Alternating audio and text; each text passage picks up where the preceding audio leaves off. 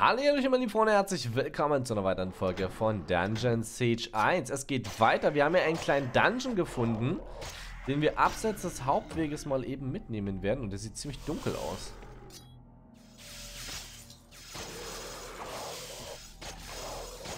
Okay, ich lasse dich automatisch angreifen.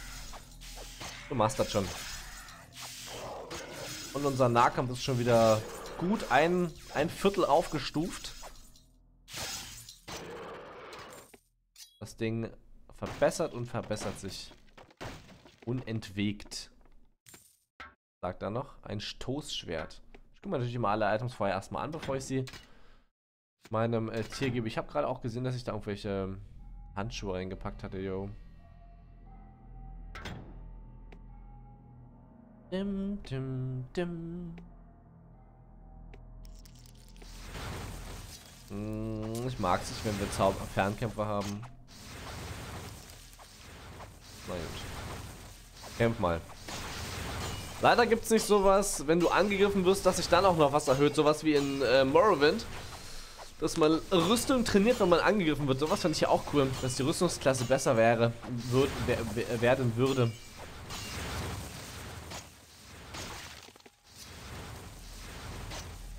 So, wie kommen wir von einem Gegner zum nächsten? Er greift jetzt mein Tier an.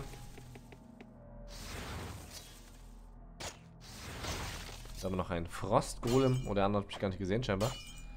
Oh, ich habe einfach das Interesse wieder an mir verloren. Ist okay. Ein Spalter, den hat man ganz am Anfang gehabt. Irgendwie 14 bis 17 Damage oder so. Jetzt nicht so schön. Hier geht's auch noch lang. Da haben wir auch noch einen. Hier geht's auch noch weiter.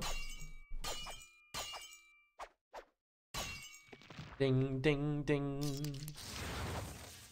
Na, das ist wahrscheinlich alles in dieselbe Jetzt in dieselbe äh, Höhle oder in dieselben Raum enden? Nee. Ich glaube, ich muss einen Heiltrank nutzen. Beschlagene Lederstiefel. Das ist echt nicht geil, ey. Bei Braun kriegen wir immer was dazu und etwas abgezogen. So.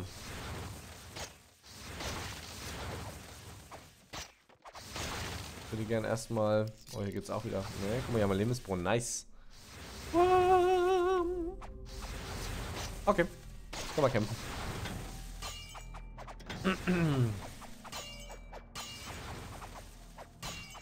Dim, dim, dim.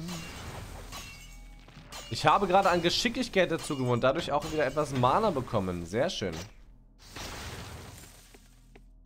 Muss nochmal den Lebensbogen. Ich weiß gar nicht, ob ich den nutzen kann, ob ich ihn endlos nutzen kann. Uh, ein Todesbogen. Natürlich kriege ich wieder einen Bogen in lila. Warum nicht? So ein Rotz. Ich sagte, die äh, enden alle in dasselbe. Dann lass uns mal ganz kurz hier abchecken, was es hier noch gibt. Ein Hammer. Ich kriege echt nur Items, die nicht für mich sind. Das ist so typisch in Hack and Slays und immer Items bekommt, die man eigentlich selber nicht braucht. Ein Gewand. Eine Rüstung habe ich auch schon ewig nicht mehr gefunden, eine gute. Auch schon Ewigkeiten her.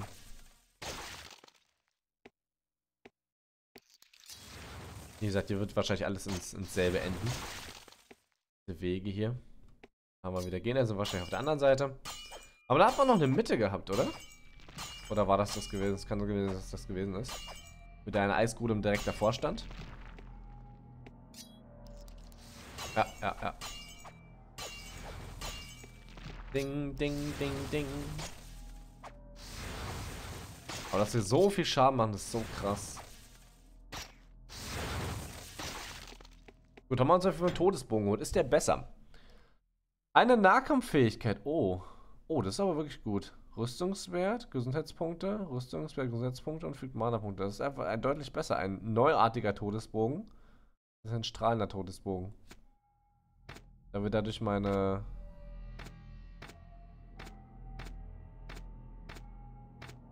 Meine Kampffertigkeit verbessern. Nehmen wir den auf jeden Fall mit. 21. sind wir jetzt schon. Krass. 21 Punkte in Nahkampf. Ich gehe davon aus, wir treffen die Leute dann immer besser. Das ist einfach meine Erklärung dafür. Wir wissen nämlich sonst nicht, wofür dieser Punkt da ist. So, gucken wir wieder. Gehen die ganzen Wege hier ab. Wir wollen natürlich nichts verpassen. Keine Höhle, kein Gegner. Jeder Erfahrungspunkt ist unique. Einzigartig. Ach gut, dass ich von hier oben gucke, ey. Ich würde sonst hier echt nicht durchsehen. Das ist ein Weg abseits. Du siehst natürlich aber auch, das ist der Nachteil.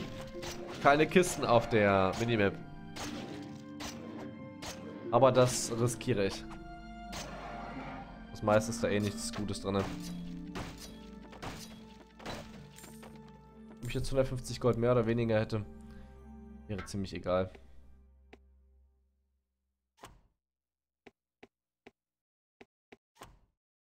Das ist echt egal.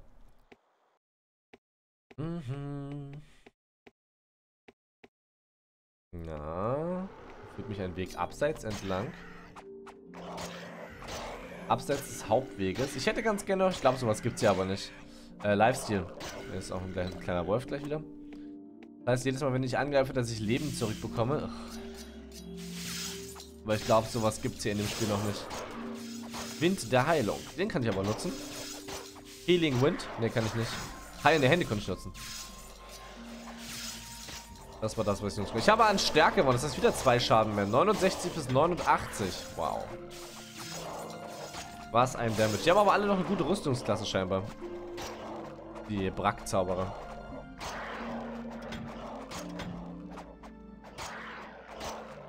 Mein Esel wird noch angegriffen.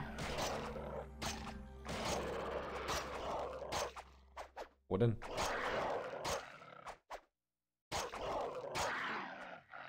Ihr das? Mein Esel verliert Leben. Da steht einfach mal ein Wolf im Baum drinnen. Im Baum. Wir haben noch eine Säurewolke. So, dann lass uns mal ganz kurz den Weg hier abschneiden. Und kurz zurücklaufen. Gucken, ob wir hier alles mitgenommen haben. So viel ist es ja nicht. Und wir haben auf jeden Fall gleich wieder ein Level up. Level up, Level up. Level 22. Wir haben schon 23 Stärke. Haben hier gleich wieder die Zauber gesehen? Jo. Ihr seid räudig.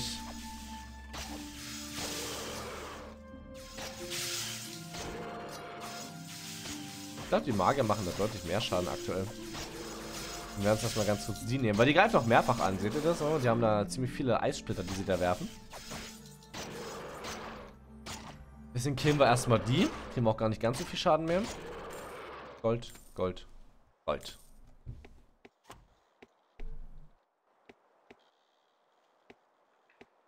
Und so viele Tränke finde ich auch gerade gar nicht, oder? Seht ihr das, dass ich gar nicht so viele Tränke kriege? Sehr interessant auf jeden Fall. Wir haben natürlich noch ziemlich viele übrig. Wobei wir mittlerweile über einen kompletten Trank trinken, wenn wir unsere Lebenspunkte einmal komplett heilen. Das ist ja Wahnsinn. Hoffe nicht, dass es notwendig ist, irgendwann nochmal in die Stadt zurückzugehen. Die treten dummerweise niemals alleine auf die Drecksviecher. Und zur Not haben wir ja eine wunder wunderbare Selbstheilung. Unglaublich stark ist.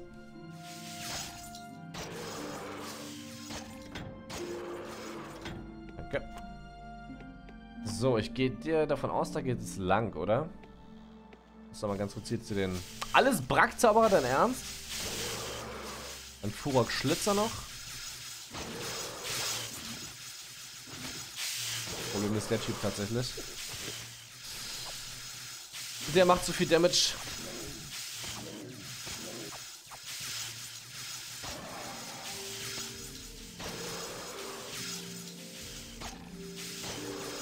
Und eine Vollheilung bitte durch Level Up. Aber noch nicht ganz. Da fehlt noch ein bisschen was. Das sieht immer so einfach aus. Oder so, so schnell. Auf dem Porträt da oben. Aber ist es nicht. So, Stoßschwert, Geld nehmen wir mit. Wie gesagt, keine Heiltränke hier, ne? Wahnsinn. Die droppen nichts. Vielleicht aber auch erst im Dungeons. Kann auch sein, dass außerhalb des Dungeons die Droprate nicht so hoch ist. Kann man hier jederzeit... Mana-Schrei leider. Weil man hier jederzeit ähm, in die Stadt zurückgehen könnte. Aus dem Dungeon heraus ist schwierig. Hier gibt es zum Beispiel auch keine Wegpunkte, das wollte ich damals schon mal sagen. In diesem Spiel gibt es keine Wegpunkte, ja. Du kommst also in die Stadt Stormage nur zurück, solltest du wirklich den kompletten Weg zurücklaufen. Das ist total krass, dass man sich das damals so, dass man das damals so gemacht hat. Dass man das damals gewagt hat. Okay, Stormage ist nicht mehr relevant, weil eigentlich brauchst du da, musst du da keine Quest mehr abgeben, wenn du alles richtig gemacht hast. Also wirst du da auch nicht mehr hinkommen in die Stadt. Nicht mehr ohne weiteres. Total interessant. So, wir müssen gleich bei der Höhle sein, oder? Auf jeden Fall haben wir den Abgrund. Der wird dir gar nicht richtig angezeigt. Boah. Ich sehe gar nichts mehr. Und Levels. Na, fehlt noch ein bisschen was. Der nächste Attack ist es dann. Oder der nächste Balken. Und Level 22. Stufe 19 im Nahkampf erreicht. Schön, dass ich sie vorher auch schon nicht gesehen habe. Und jetzt noch viel weniger. Oh, nice. Wirklich gut. Immer Two-Hit. Und wir treffen. Mit jedem einzelnen Hit haben, wir, Hit, haben wir getroffen. Deswegen diese Ansicht ist sowas von wichtig. Zumindest für mich. Weiß nicht, geht's da noch lang? Ja, da haben wir noch einen Furok-Schlitzer. Und eine kleine Kiste. Leider mit null Inhalt. Sehr bedauerlich.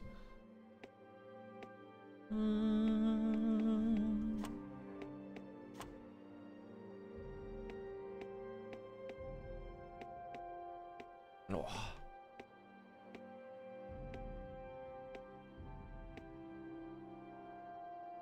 Das einfach nichts, oder? Nichts sieht man hier. Die Eiskrieger. Oh, da ist die Höhle. Da sind die Eiskrieger aus der Höhle. Sie sind schon uns entgegengekommen. Guten Tag. Mit einem Eisschwert, das tatsächlich sogar besser sein könnte als unsere Waffe. Ah, hört ihr das klingeln? Ah, herrlich. 40 bis 48, okay. Jetzt in die Tonne treten, das Ding. Ist da nicht die Höhle? Da ist da die Höhle. Ah, ja, da ist die Höhle.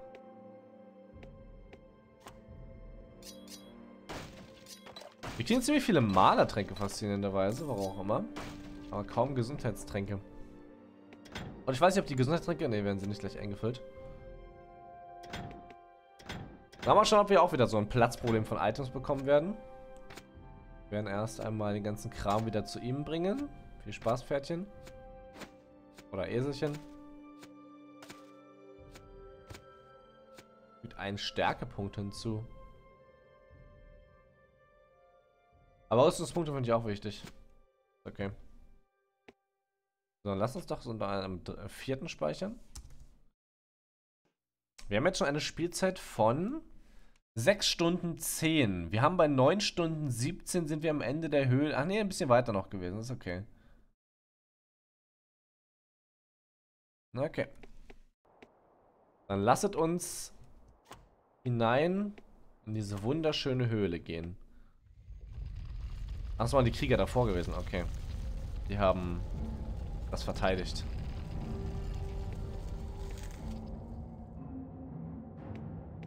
So. Eine Eisfliege. Noch sind es... Wollte schon sagen, noch sind es Fernkämpfer, außer der hässliche Brackzauberer da hinten. Da sind noch mehr Brackzauberer. Treffen mich nicht, oder? Ah, knapp. Die restlichen gucken mich aber nicht an, das ist okay. Sie haben ja irgendwo so ein, so ein äh, Nest der Eisfliegen, das kann man kaputt machen. Äh, oder es zerstört sich selbst nach einer gewissen Anzahl an Eisfliegen, die es gespawnt hat.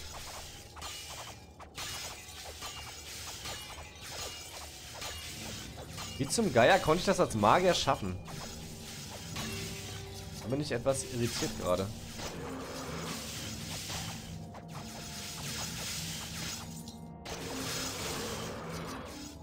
Mehr keinen Trank reinziehen. Weiß ich auch nicht.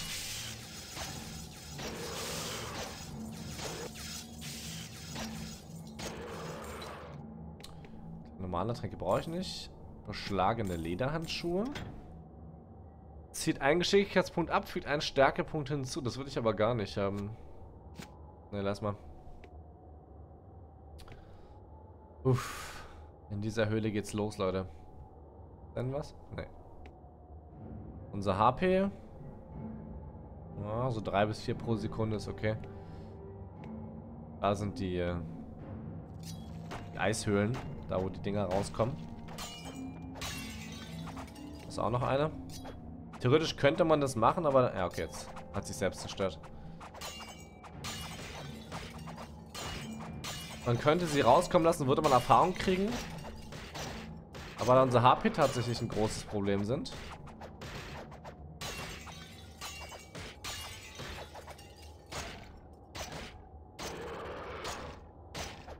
Hm. Würde ich versuchen, das zu vermeiden, dass da so viele rauskommen. Brack Zauberer.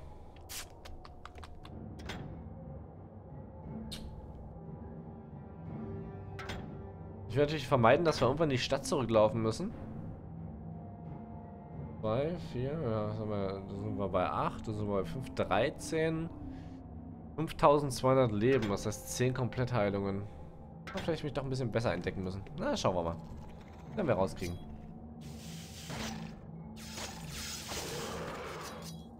Ob wir zu gut oder zu schlecht sind.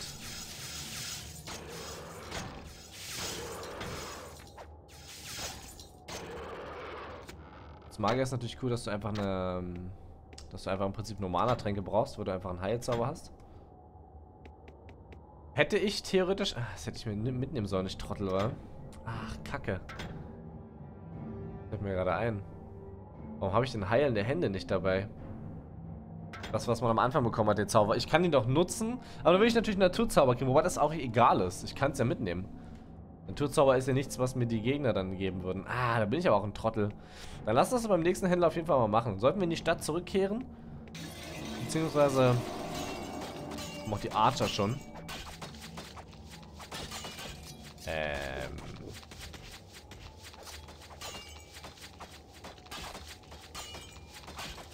Sollten wir uns auf jeden Fall heilende Hände mitnehmen. Alter! Gut, ich musste einfach mal 1000 Leben heilen.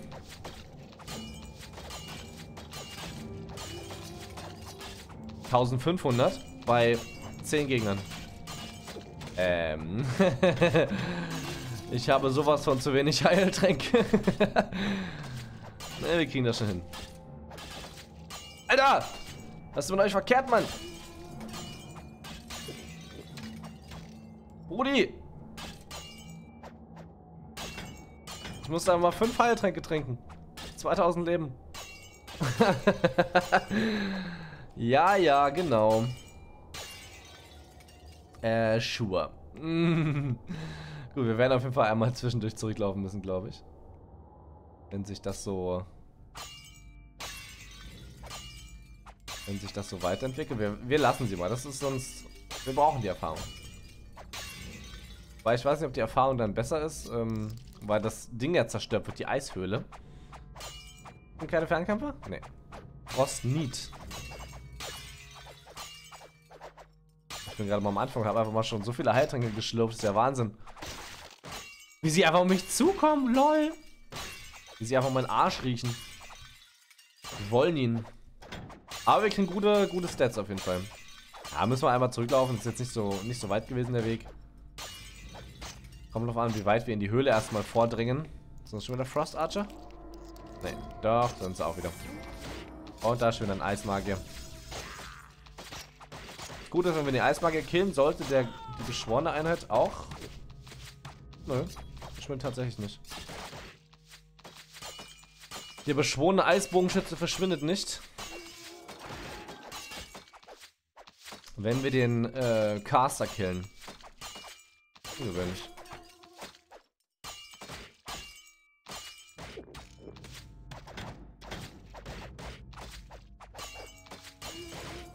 Ich bin dafür, dass die Gesundheitstränke, äh, dass sie wieder so droppen wie in der Mine. Aber das machen sie komischerweise nicht mehr. Das macht doch nichts. Wie gesagt, zur Not laufen wir zurück. Zur Not werden wir heilende Hände. Wir werden auf jeden Fall heilende Hände mitnehmen, das ist definitiv klar. Warum ich da nicht früher auf die Idee komme, frage ich mich auch. Weil das einfach eine super Idee ist, Alter. Holy. Ich brauche keine Heiltränke, ich brauche Mana-Tränke und das Mana füllt sich sowieso die ganze Zeit wieder auf und ich nutze es ja gar nicht. Dass ich Trottel das nicht gemacht habe, verstehe ich gar nicht. Aber hey, ich bin's halt, ne? Ich weiß ehrlich gesagt gar nicht, ob die Höhle groß ist, muss ich gestehen. Ich habe daran nicht, nicht viel Erinnerung. Ich weiß auf jeden Fall nur, dass ich Ewigkeiten mit dem Magier gebraucht habe. Aber das heißt ja nichts, dass sie groß ist. Durch den, Alter, wie viel Damage die machen. Das sind halt viele Gene. Kling, kling, kling. Ah, das klingt so toll. Warum muss man Glas in echt zersplittern einfach Dungeon Siege 1 spielen? Easy going. Und gleich haben wir Level Up. Sehr schön. Haben wir ein Trüchen. Oh Gott, hast du mich gerade erschrocken. Ich wollte es gerade erwähnen, dass die aus den Eisdingern rauskommen können, hätte aber nicht gedacht, dass ich noch nicht in der Range gewesen bin von den Dingern. Na, aus den ganzen Dingern könnten theoretisch auch Gegner spawnen. Oh, danke. Danke für diese ganzen tollen Items. 25 bis 47. Gut, meine lieben Freunde, ich würde sagen, wir haben... Wobei, wir haben gleich ein Level Up, das ist okay. Wir kämpfen noch, bis wir wenig Leben haben. Wir werden nämlich gleich ein Level Up haben. Da ist es. Ich hatte, ich würde ganz Partende machen, wenn ich mal eine HP regenerieren muss, weißt du? Damit man das schön kombinieren kann. Ein paar Minuten einfach mal die Klappe zu halten. Aber dafür müssen wir jetzt noch ein paar Gegner killen.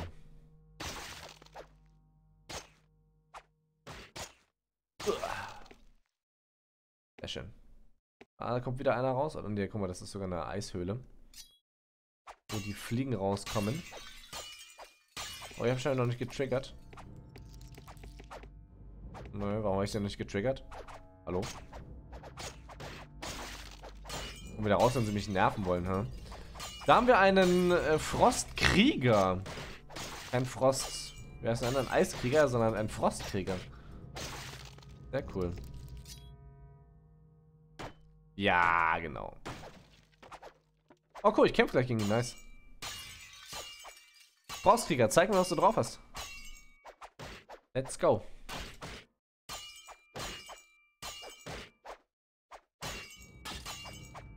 Ding, ding, ding. Ein Eisschwert, leider nicht so geil. Ein Frostschwert wäre vielleicht cooler gewesen. Vielleicht wäre das was anderes gewesen. Aber doch haben wir super, super viel Leben, Leute. Naja. Dann machen wir doch jetzt Partende. Ich glaube, das kann dabei dauern. Ich glaube nicht, bei dem Kampf brauche ich noch ein paar Heiltränke. Ich werde jetzt sicherlich nicht drum herum kommen. Da können wir ein paar kleine, kleine Spinnen anlocken. Drei Spinnen, da unten nochmal wieder ein paar Frost, Eis, Eisflinge, mal Eisbogenschützen. Die Bogenschützen sind eklig. Oh. Vor allem sind Eisbogenschützen später an Positionen, wo du ohne Bogen nicht hinkommst. Deswegen habe ich immer einen Bogen dabei. Nicht nur, weil es mir Stats gibt. Aber ich bin der Meinung, ich werde die überskippen, wenn... Wenn wir da hinkommen. Lumpen. Alles sieht gut aus. Wir haben nämlich gelbe HP. Das ist okay. An dieser Stelle machen wir jetzt eine kleine Pause, meine Freunde, und sehen uns in der nächsten Folge wieder von Dungeon Siege hier in den äh, Eiskristallhöhlen auf der Suche nach Merrick. Bis dahin, Leute. Ciao, ciao.